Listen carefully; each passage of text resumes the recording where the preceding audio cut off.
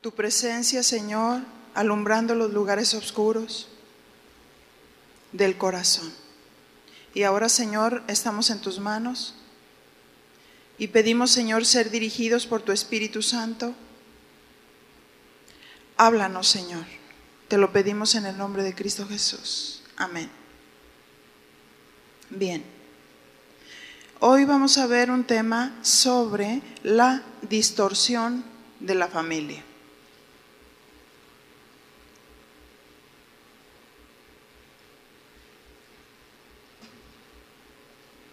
Empiezo con una pregunta y van a estar mostrando algunas ilustraciones para que observemos y pongamos atención y veamos qué es lo que está pasando ahorita ya en el mundo.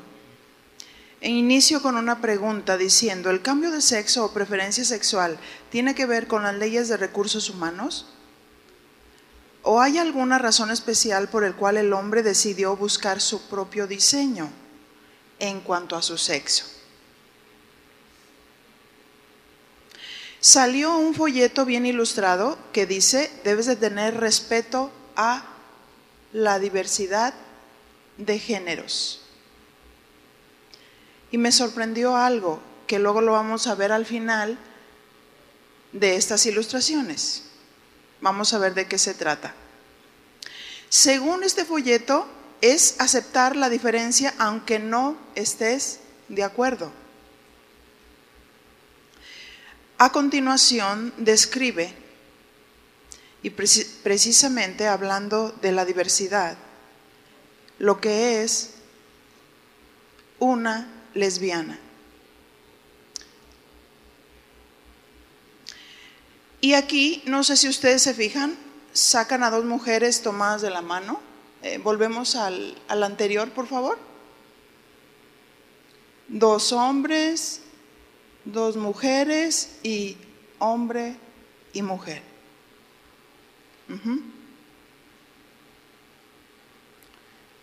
¿Qué es una lesbiana? Es una mujer que tiene afecto y atracción sexual por otra mujer. ¿Qué es un gay? Lo digo así porque el, folleto traía así, como se lo estoy diciendo, eh, la palabra gay. ¿Es un hombre que, que siente afecto y atracción sexual por otro hombre?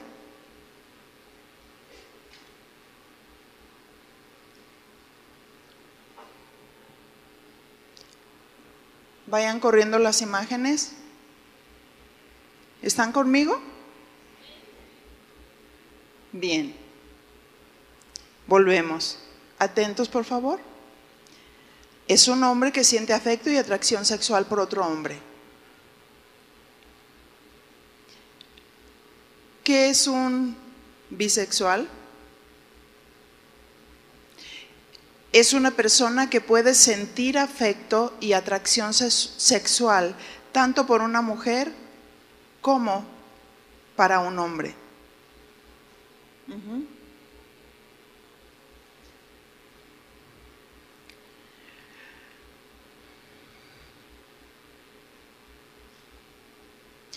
¿Qué es un transvesti? Es una persona que se viste como el otro género. Por ejemplo, el hombre vestido de mujer.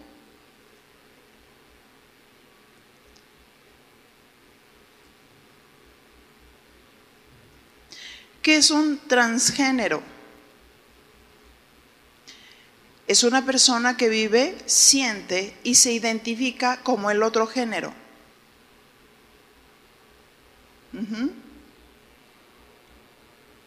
Es una mujer, pero se identifica con el otro género de tal manera que toma la imagen de un varón.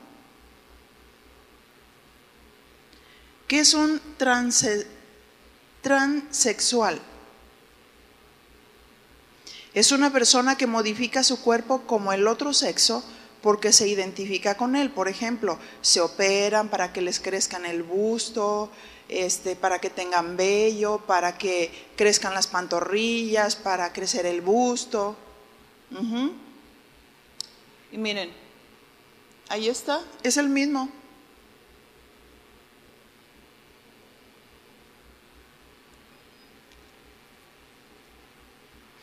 ¿Qué es un interasexual? Es una persona que nace con características físicas, tanto femeninas como masculinas. ¿Por qué razón se da esto? Eso y ese pretexto han tomado algunos que han nacido con una degeneración y nacen con los dos sexos. No estoy hablando que en los órganos internos sean diferentes, sino que externamente tienen dos sexos. Yo conocí un caso de un niño que nació así. Tenía pene y vagina.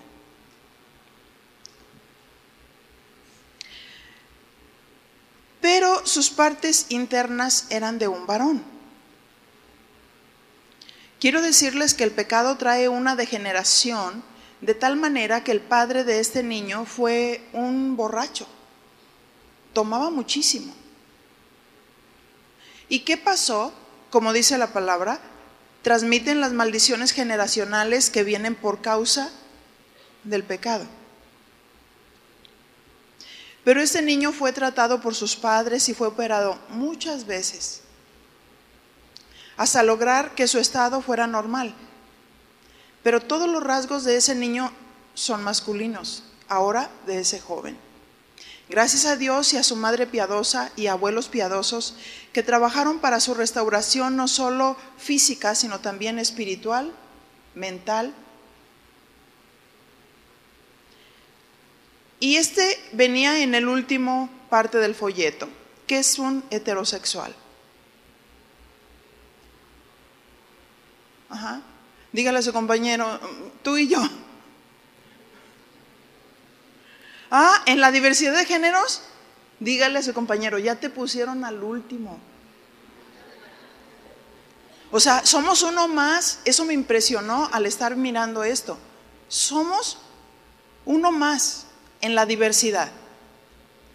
Ahora ya, ya están escogiendo. O sea, qué tremendo, qué tremendo.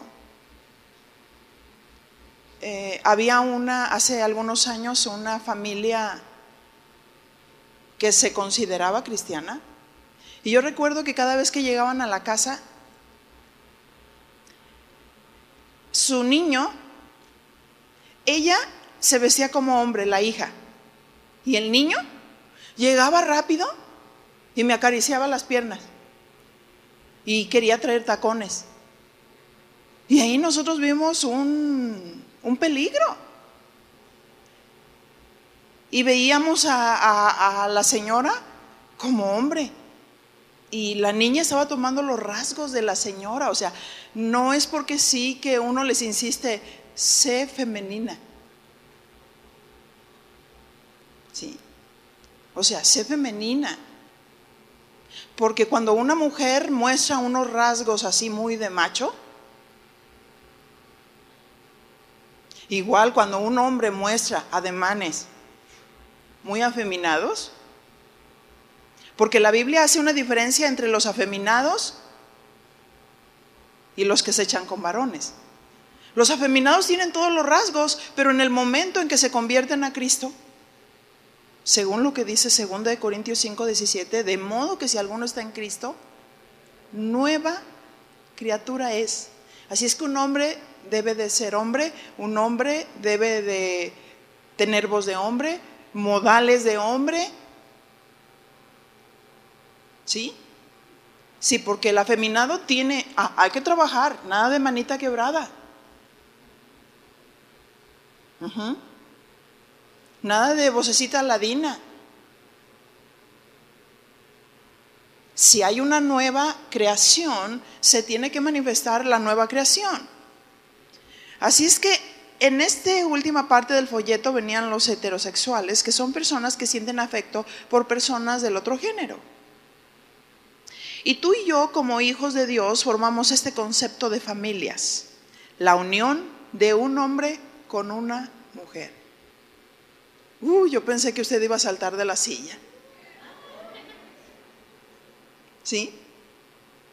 Qué tremendo cuando dentro de las familias se empiezan a presentar este tipo de situaciones donde han venido mujeres y han dicho, pues fíjate que mi esposo este, me dice que, yo tenga relaciones sexuales delante de él eh, con otro hombre, pervirtiendo el sexo o con otra mujer. ¿Eso es de Dios? El hombre para sentir placer sexual en su matrimonio tiene que pervertirse. Para salir de la rutina, ¿tiene que pervertirse? No, porque Dios nos hizo de una manera perfecta. Nos hizo perfectos. Cada una de las partes de nuestro cuerpo, por eso dijo, esto es en gran manera bueno. Y nuestras partes están tan perfectas y tan conectadas y también las instrucciones de Dios en nuestras vidas para funcionar de tal manera de traer satisfacción, hablando de la mujer casada, al hombre y el hombre a la mujer. No tiene que hacer cosas sucias ni, ni buscar perversiones ni excitarse con otras cosas. Absolutamente porque la manera como Dios nos hizo, nos hizo de una manera perfecta.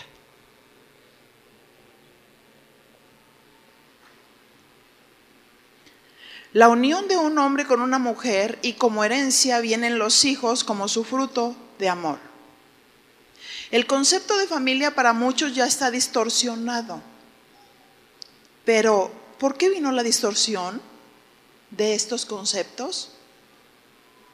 Vamos a la carta a los romanos, ¿qué les parece? Para, para darnos cuenta desde dónde vino la distorsión de la familia. ¿Y qué podemos hacer? ¿Cómo podemos colaborar para guardar, para cuidar?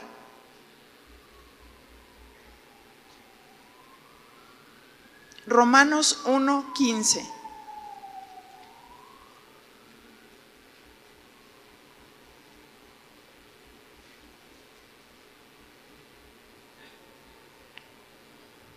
¿Lo tiene?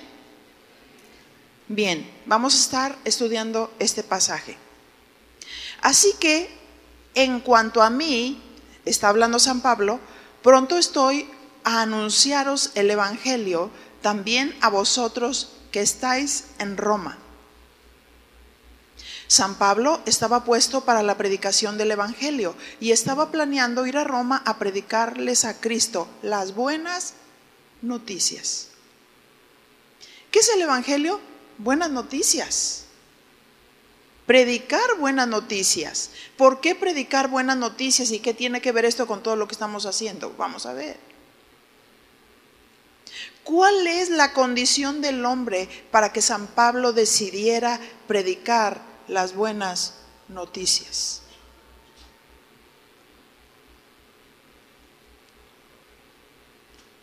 ¿Será que el hombre es injusto? ¿Cuál era la condición del hombre? Vamos a analizar su condición para entender por qué San Pablo dijo, según Romanos 1, 16, porque no me avergüenzo del Evangelio, porque es poder de Dios para salvación a todo aquel que cree, al judío primeramente y también al griego. El Evangelio es poder de Dios para salvación. Entendemos de dónde viene la distorsión de la familia, pero mi pregunta, ¿nosotros podemos cambiar a un bisexual?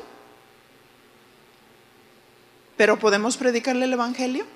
Sí le podemos predicar el Evangelio. No podemos cambiar a una lesbiana, no podemos cambiar a alguien con cierta tendencia pero sí podemos predicar el Evangelio. El Evangelio es poder de Dios para salvación. Ni los mejores programas, podrán transformar la vida de alguien con pensamientos y costumbres desviadas. Pero el Evangelio sí. El Evangelio es poder de Dios para salvación. Como familias de Dios tenemos un privilegio. Si verdaderamente somos hijos de Dios y hemos nacido de nuevo y nos hemos arrepentido de nuestros pecados, nosotros vamos a saber cómo guiar a nuestros hijos. ¿Estamos conscientes de nuestra labor como padres para amarlos, para enseñarles, para hablarles de cuál es su condición, para decirles a dónde se van a ir si no se arrepienten de sus pecados? Tenemos hijos solamente para decir, ay, qué lindo está, mira, voy viendo sus cambios, ya mueve las manitas, ya, ya gatea, ya camina, ay, se parece a mí. Padres, nuestra misión es hacer hijos poderosos. ¿Se han dado cuenta que nosotros no tenemos el poder para cambiar a nuestros hijos? Pero Dios prometió proféticamente que volvería el corazón de los padres hacia los hijos. Quiero decirte que el padre no tiene ninguna influencia sobre sus hijos si no hay amor y no hay comunión. Tú no puedes sembrar semillas. Si el hijo está herido, si el hijo está resentido, se rompe la relación. No podemos sembrar semillas de amor, no podemos sembrar semillas de la palabra, semillas de esperanza. No podemos guiar porque todo estaría topando, topando, topando. Una guerra entre los padres y los hijos. De pronto el hijo cuando está niño dice, mi papi es un héroe. Mi mami, cualquier cosa que quiero saber, voy con mi mamá. Y va creciendo y dice, viejo ignorante. Empiezan a deshonrar a los padres, desobedientes a los padres, intemperantes, rebeldes. Esa es la generación que se va a levantar en estos tiempos. Pero ¿qué estamos haciendo nosotros como padres para? ¿Sí? Para ser hijos poderosos. El Evangelio es poder de Dios para salvación. Jesús es Dios. Él es la buena noticia que descendió del cielo para morir por el hombre que es pecador. Jesús es la palabra viviente. El que escucha la palabra y crea el mensaje del Evangelio y se arrepiente de sus pecados, no solo que reconoce, sino que se arrepiente de sus pecados. Ese experimenta el poder de Dios para salvación. Podemos interceder como muchos años ha intercedido para que se acabe el narcotráfico, para que se acaben las perversiones, para que se acaben los secuestros, para que se acabe todo eso. Pero eso no va a suceder hasta que un hombre nazca de Dios. ¿Dónde están todos aquellos que trastornan al mundo, como decía en Hechos? ¿Dónde están todos aquellos que no se apacienten a sí mismos, sino que predican el Evangelio para traer esperanza? Pero debemos de predicar el Evangelio primeramente a los nuestros, en la casa. Debemos de trabajar con ellos, con palabra de Dios, con ejemplo, con testimonio para que ellos deseen el reino de Dios, para que ellos quieran seguir a Dios.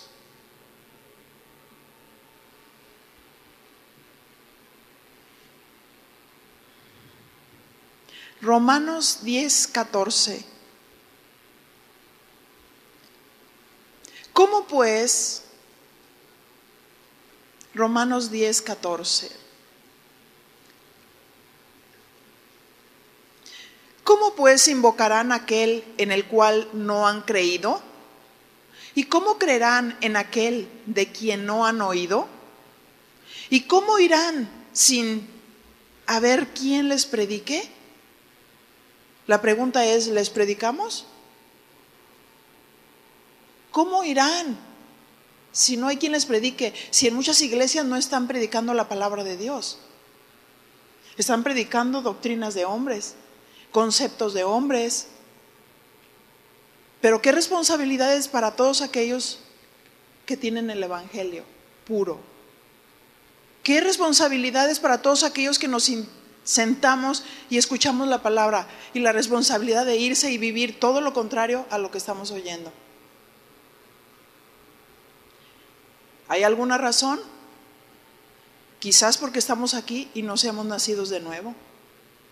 Y no podamos dar lo que nosotros no tenemos. Pero si de veras somos nacidos de Dios, entonces enfoquémonos a nuestra misión de predicar el Evangelio. Primeramente a los nuestros. No te vayas a las plazas. No te vayas a otros lugares con el celo de Dios, con el fuego que te consume cuando tu casa está destruida. Vuélvete a tu casa, vuélvete a los tuyos, sé la luz de tus hijos.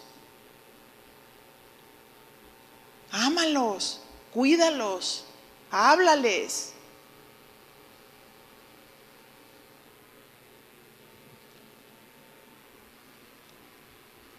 Romanos 1.17, porque en el Evangelio la justicia de Dios se revela por fe y para fe.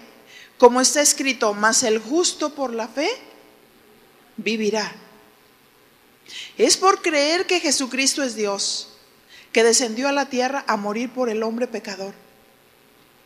Para muchos Cristo ya es una moda. Ay, hemos escuchado tantas veces Semana Santa, Semana de Pascua, muchos vuelven a significar la obra de la cruz, pero no entienden la obra de la cruz. Y es por fe, es por fe, es por creer.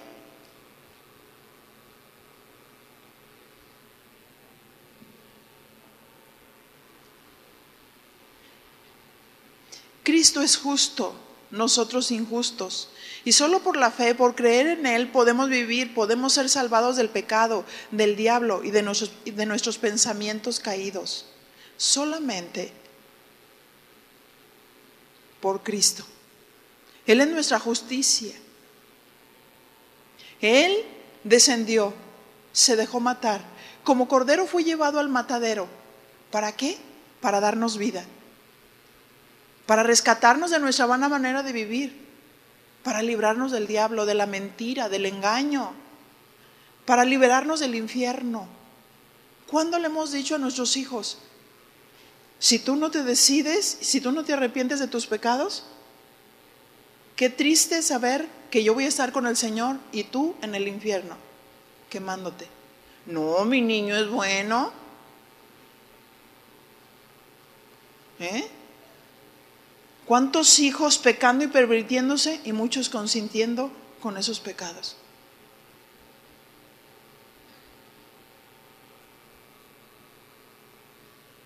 Dios nos va a pedir cuentas. La pregunta es, ¿el hombre es inocente o culpable? Romanos 1, 18.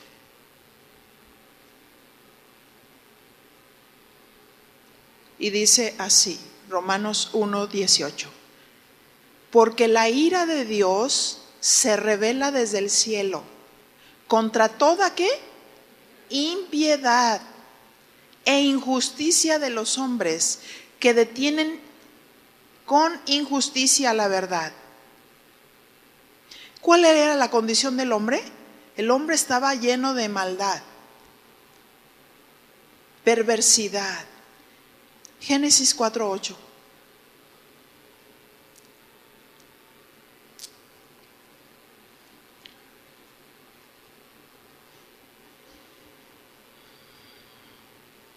¿Lo tiene? El libro de los principios. Génesis 4.8. Y dijo Caín a su hermano Abel, salgamos al campo. Y aconteció que estando ellos en el campo, Caín se levantó contra su hermano Abel. ¿Y qué hizo? Lo mató. Dos hijos que tuvieron con amor, dos hijos que tuvieron con esperanza, Dos hijos que quisieron disfrutar. Pero Caín no entendía. A los dos se les enseñaba la palabra de Dios. Dios se revela ante la injusticia de los hombres malos. Caín tuvo mandamiento de Dios, diga, mandamiento de Dios. Pero Caín decidió llenarse de amargura. ¿Mm?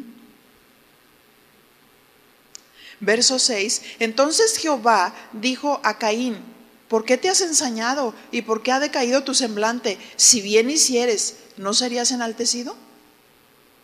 Y si no hicieres bien, el pecado está a la puerta. Con todo esto, a ti será su deseo y tú te enseñorearás de él. Si bien hicieres Caín, ¿no serías enaltecido? Caín trabajaba la tierra. Abel trabajaba con el ganado.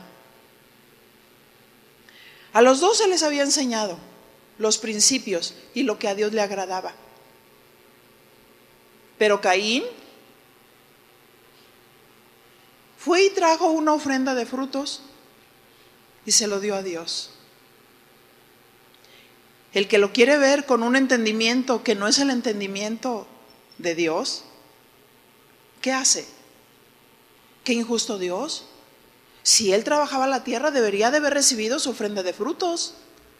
¿Por qué recibió la ofrenda de Abel y no la de Caín?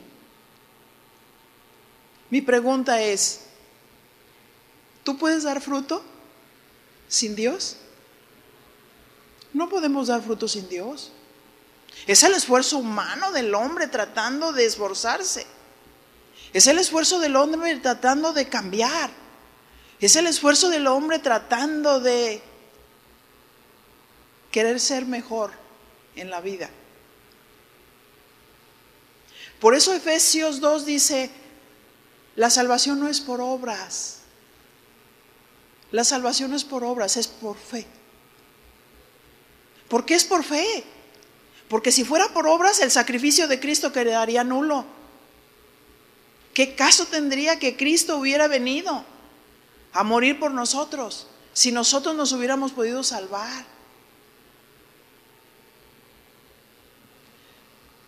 Abel le, traía el cordero. Le agradó a Dios. ¿Por qué? Y Dios, y Él sacrificó eso para Dios, que era un acto de adoración, porque los sacrificios se hacían en el altar. Y un altar simboliza adoración, reconocimiento a Dios. Lo que Abel estaba haciendo era profético porque estaba señalando hacia el futuro la obra de Cristo. La obra redentora, sin derramamiento de sangre no hay perdón de pecados. Y Caín se llenó de ira, se encolerizó. Y Dios le dijo, Caín, déjate enseñar. Si bien hicieres, ¿no serías enaltecido? Lo único que te estoy pidiendo es, dame adoración. Reconóceme. Si bien hicieres, ¿no serías enaltecido? La oportunidad para Abel y Caín eran las mismas. La oportunidad de la salvación es para todos. Di conmigo, para todos. Dios no vino, Dios no es poquitero ni imperfecto. Dios no vino a morir por unos cuantos. ¿O sí? ¿O será que tu hijo nació para el día malo? ¿Tú aceptas eso? No. Porque de tal manera amó Dios al mundo que dio a su Hijo unigénito para que todo aquel que en Él cree no se pierda, mas tenga vida eterna. Ciertamente no todos van a creer, pero esa es una decisión personal. Y el infierno Dios no lo hizo para el ser humano. Pero algunos no van a creer. Eso lo dice Apocalipsis. Y muchos no se arrepintieron de su idolatría, de sus imágenes, de sus pecados. Pero es una decisión personal. Pero Dios a nosotros nos va a pedir cuentas de la herencia. Dios nos va a pedir cuentas de nuestros hijos. ¿Qué hiciste con tus hijos? ¿Los guiaste a mí? ¿A que me entendieran? ¿A que me conocieran? Está el hijo entendido que entiende las cosas de Dios, Abel.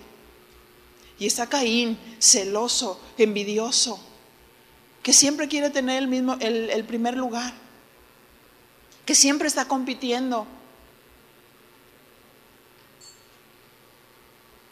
Hay que declarar el pecado. Esa actitud que tiene se llama egoísmo. Muchas veces decimos, ahí es un sentimiento negativo. Es un pecado. Es un pecado el egocentrismo. Es un pecado que el niño quiera ser el centro de atención. Es un pecado que esté peleando todo el tiempo.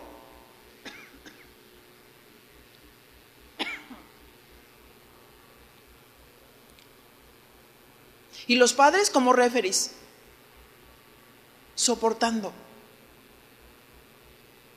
Y hay algunos padres, órale, mi hijo, dale.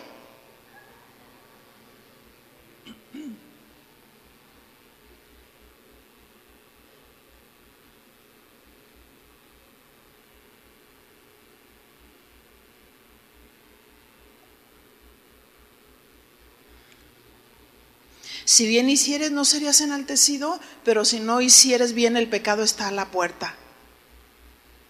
La ira de Dios se revela contra toda impiedad, contra toda maldad, contra toda perversidad e injusticia de los hombres que detienen con injusticia la verdad.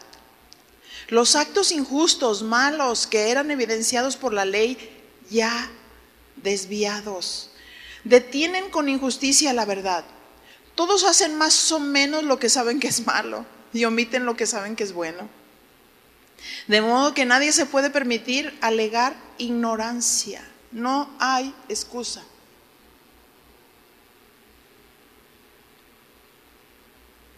¿Cómo podemos nosotros llamar preferencia sexual al pecado? Bueno, no digo yo, vamos a leer qué dice la Biblia.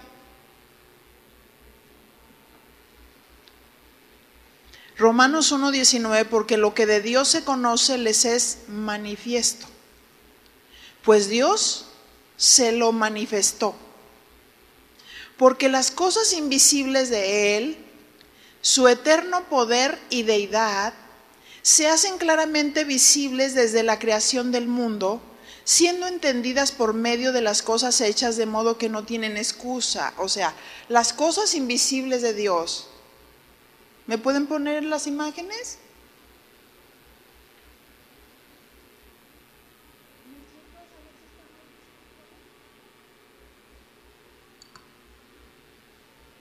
Ya, pero necesitan apoyo.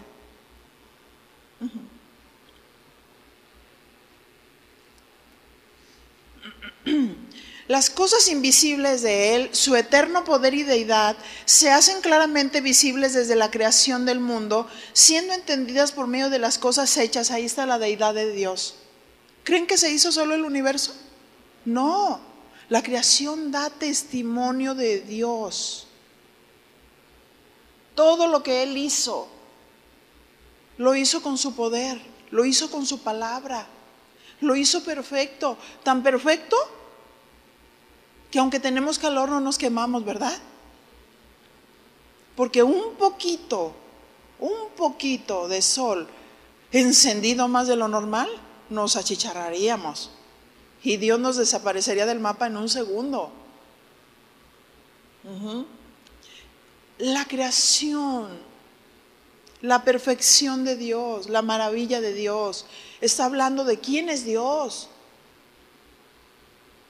¿Te has puesto frente al mar? ¿Has mirado la inmensidad? ¿Has mirado el límite que Dios le puso? ¿Percibes el oxígeno que recibes cuando estás tan rico abajo de un árbol? Dios hablándonos a través de la creación.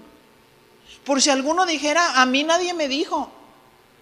No hay excusa de la deidad de Dios, no hay excusa del poder de Dios. Jesús es la palabra viviente y por la palabra se hicieron los cielos y la tierra. Por la palabra se hizo todo el universo. Y Él simplemente dijo, hágase la luz. Y se hizo. Dios es luz. No hay ninguna tinieblas en Él. Dios es todopoderoso. Dios es infinito. ¿Dónde está el lugar de su habitación? ¿Dentro? ¿Fuera? ¿A los lados? Ahí está la infinidad de Dios, llenando todo.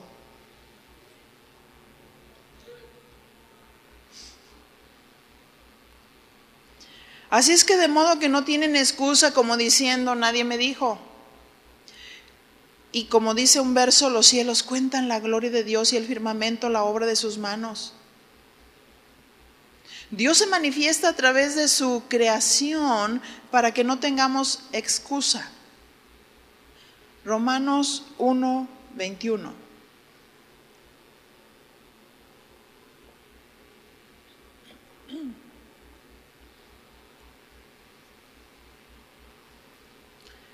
Pues habiendo conocido a Dios, y quiero que subrayen esa palabra, habiendo conocido a Dios.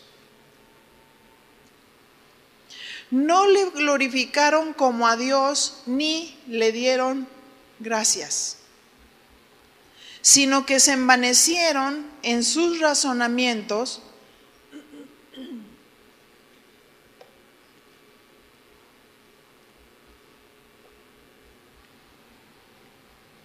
y su necio corazón fue entenebrecido. Dice, habiendo conocido a Dios. Voy a leerlo en la versión Biblia para todos.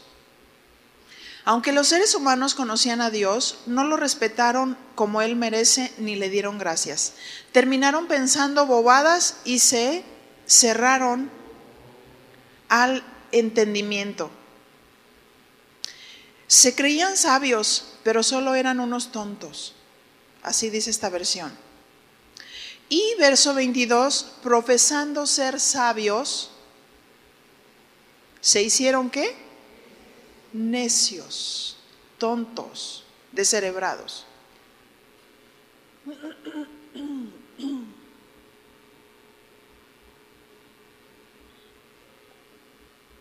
Y dice, ¿qué sucedió Romanos 1.23?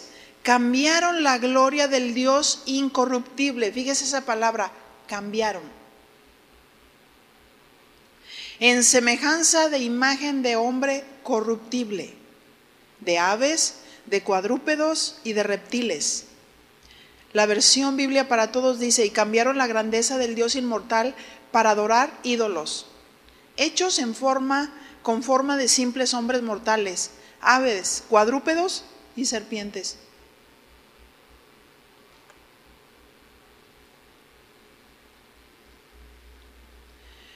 Verso 24. La gente estaba llena de pecado y querían hacer solamente el mal. Por eso Dios los dejó que siguieran cometiendo pecados sexuales y deshonraron su cuerpo, unos con otros. Los entregó a la inmundicia. ¿Quién los entregó? ¿Dios sigue siendo poderoso? Dios los entregó. Porque ellos saben, sabrán dónde están los que trastornan el mundo. ¿Dónde están los evangelistas? ¿Por qué estamos aquí en la tierra?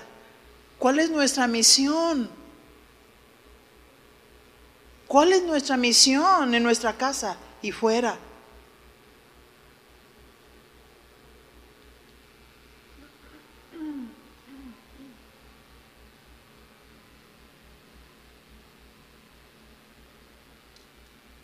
Dios los entregó a la inmundicia Por lo cual también en la concupiscencia de sus corazones, de modo que deshonraron entre sí sus propios cuerpos. Ya, verso 25, que cambiaron la verdad de Dios, escuche, cambiaron la verdad de Dios por la mentira, honrando y dando culto a las criaturas antes que al Creador, el cual es bendito por los siglos. Amén. ¿Por qué? Porque uno de esos géneros profesan tener una religión.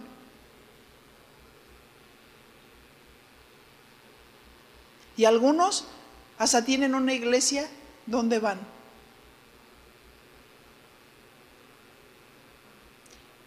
Disfrazando.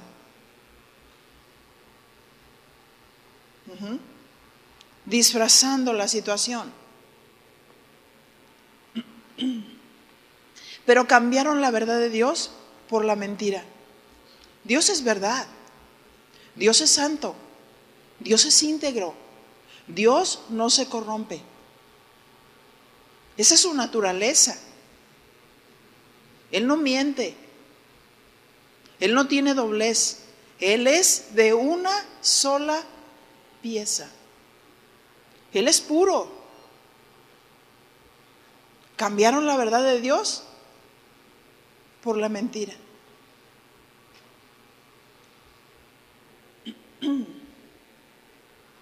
Qué tremendo, ¿no? Honrando y dando culto a las criaturas antes que al Creador, el cual es bendito por los siglos. Amén. ¿Cuál era la verdad? Dios hizo al hombre y a la mujer. Esa es su verdad. ¿Y cuál es la mentira? La distorsión de los géneros. Esa no es la verdad de Dios. Entender por qué y por qué vino la distorsión de los géneros es porque el Dios los ha entregado a la inmundicia. Tenemos que hablar. ¿Sí? Porque si tomamos una actitud de, mira, tú estás allá y yo estoy aquí, o sea, ¿dónde está la esperanza?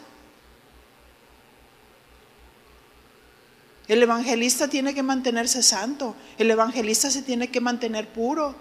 Dios me usó para ganar hace muchos años un, homosexual. Y empecé a tener compasión de Dios. Y Dios me dijo, háblale a esta persona. Fui y empecé a predicarle el Evangelio de Jesucristo. Y yo me paraba en los funerales, en las plazas y en todo, y ahora me paro aquí. Porque ya cambió mi rol el Señor. Pero, pero empecé a predicar el Evangelio y sin intimidación porque eh, Dios me habló sobre esta situación y fui y le empecé a hablar de Cristo, de su condición, a dónde se iba a ir si no se arrepentía que Dios quería transformarlo, hacerlo un nuevo hombre, una nueva persona, y, empecé a hablarle del juicio de Dios. Fueron unas experiencias muy especiales y muy sobrenaturales, porque eh, me contó su testimonio, cosas horribles que le pasaron andando en todas esas perversiones, cómo espíritus inmundos vinieron sobre él, cómo él mismo, los espíritus venían y lo usaban para que se encajara un cuchillo. Y los evangelistas deben de predicar el evangelio, pero que las señales le sigan a la palabra. Las señales sigan a la palabra para echar fuera demonios porque muchos de ellos están aún poseídos de espíritus inmundos.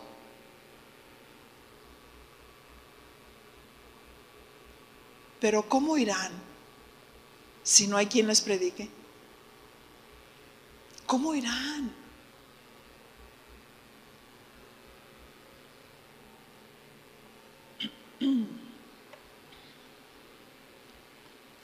La verdad es que Dios hizo al hombre y a la mujer Romanos 1:26, por esto Dios los entregó a pasiones que vergonzosas, pues aún sus mujeres cambiaron el uso natural por el que es contra naturaleza, ya estaba escrito aquí.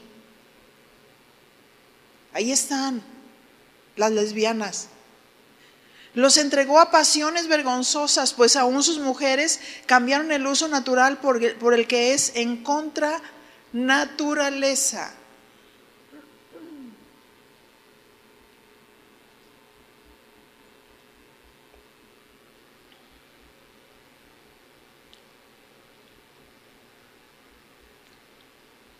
Romanos 1.27.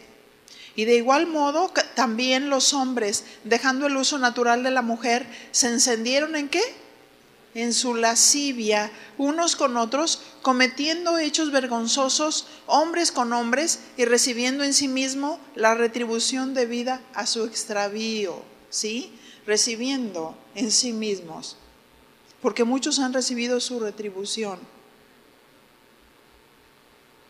Porque toda perversión y todo pecado trae consecuencias, como el SIDA y como muchos otros este, degeneraciones y enfermedades.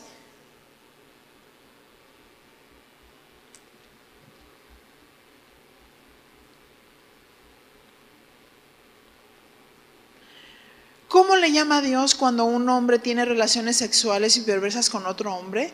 Se les llaman hechos vergonzosos.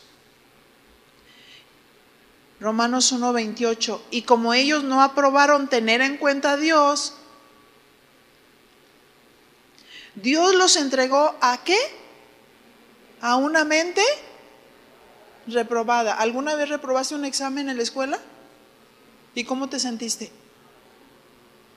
Muy mal, ¿verdad? Y dijiste, ay, muy mal. Dios los entregó a una mente reprobada. Ok, ¿ustedes quieren eso? Que es la continuación que yo voy a hablar en la noche. ¿Ustedes quieren eso? Llega hasta un momento en que llega a un punto como lo que sucedió en Sodoma. ¿Podría subsistir la tierra atestado de este tipo de personas? ¿Crecería y se multiplicaría las generaciones o se extinguirían? Es el hecho simplemente de, de, de, ok, no estoy de acuerdo, pero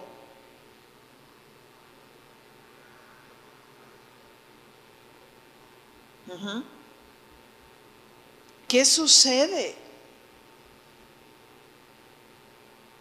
Es un yugo desigual, ¿cierto? Esos tipos de género son yugos desiguales. Eso no funciona, eso es un fraude.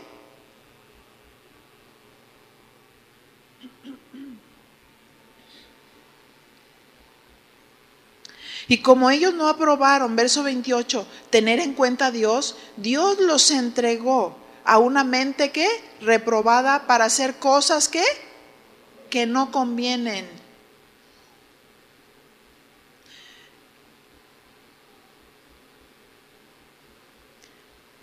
¿Por qué Dios no aprueba este tipo de familias? ¿Por qué razón no la aprueba? Porque Dios no la instituyó. Dios no instituyó ese modelo. Ese modelo es un fraude.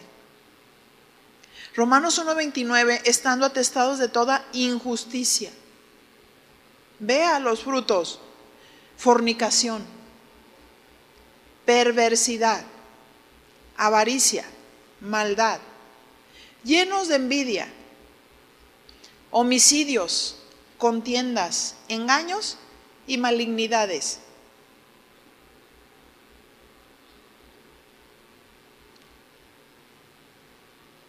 Estas son las características de este tipo de personas. Según verso 30, murmuradores, detractores, aborrecedores de Dios. No, no, no. En una vez quise estarle compartiendo uno que llegaba a mi casa y vendía pasteles y dice, no quiero saber qué dice. Me espanta saber qué dice. Le digo, aquí habla de ti. Quiero mostrártelo, quiero reflejarte el espejo, quiero que te mires en el espejo. Quiero que te des cuenta lo que Dios dice de ti. Aborrecedores de Dios. Quiero darle suelta, rienda suelta a la carne. No quiero saber qué dice Dios.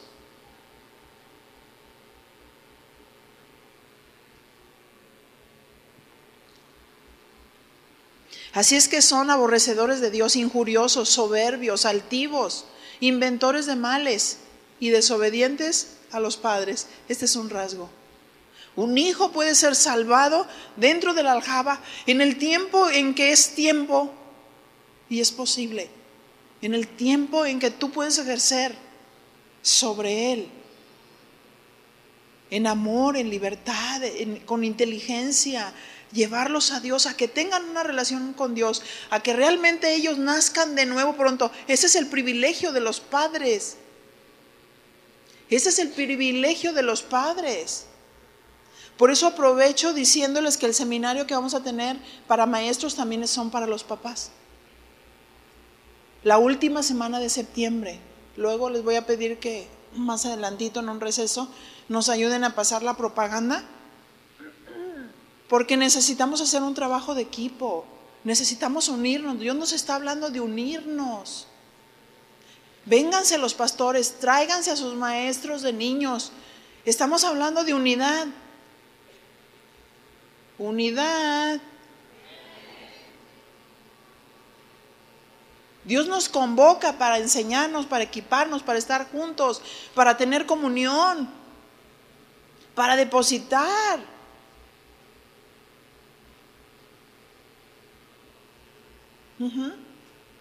¿Qué sienten los papás cuando preparas la mesa y te desvives hasta tres horas para hacer un platillo y los hijos no llegan a comer? ¿Verdad? Qué tremendo. Estos eventos son para nosotros. Dios nos habla, nos habla de tiempo en tiempo y, quiere unirnos, quiere entrelazarnos, quiere que nos acerquemos, que nos amemos unos a los otros, que tengamos comunión para poder depositar, para poder cubrir, para poder enseñar.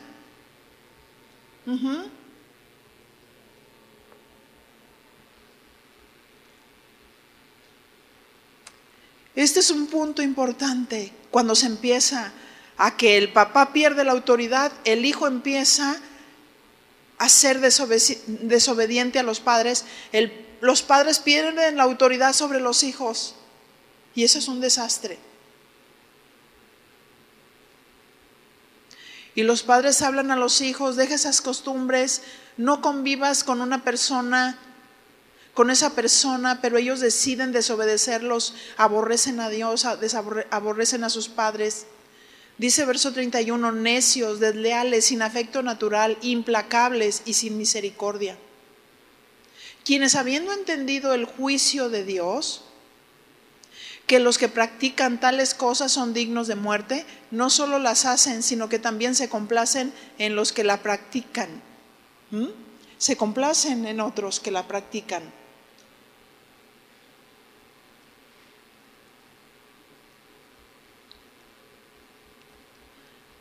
Si hay alguno que está en esta perversión, reconozca que es porque, aunque va a una iglesia cristiana, ha dejado a Dios y Dios lo reprobó.